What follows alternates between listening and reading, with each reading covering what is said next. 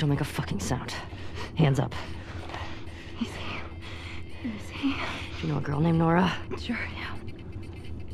Where is she? In the hospital. Where in the hospital? Yeah, they're, they're clearing out the upper floors. She's somewhere in there. Yeah.